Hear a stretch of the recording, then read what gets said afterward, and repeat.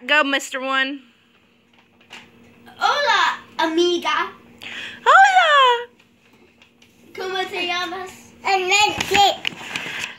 llamo Juanita. ¿Cómo te llamas?